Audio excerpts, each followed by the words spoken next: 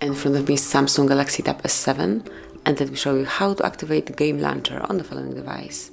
So first of all you have to open list of all apps, go to the settings then, scroll down, locate and open and open advanced features right here and if you'll go a bit lower you will notice Game Launcher. So if you'd like to organize all your games all in one place and access extra features, just tap on this switcher. And now it is active, you can click here to switch it off the same way, but let me leave it on. And if you'll go back to your home screen, it should appear somewhere here. So let me look for the icon of your game launcher.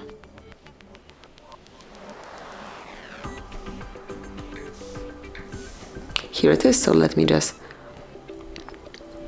open, agree to use everything.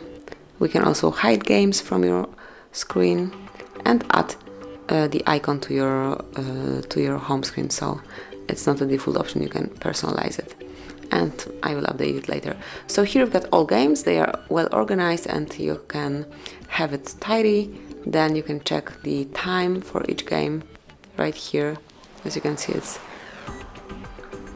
it's organized pretty cool. And here you've got the icon. So if you'd like to open some game if you'd like to check time spent on each game just open game launcher.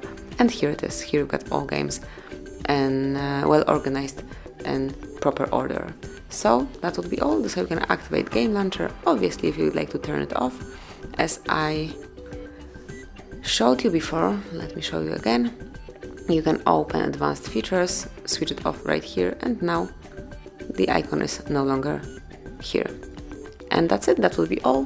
Thanks for watching, please subscribe our channel and leave the thumbs up.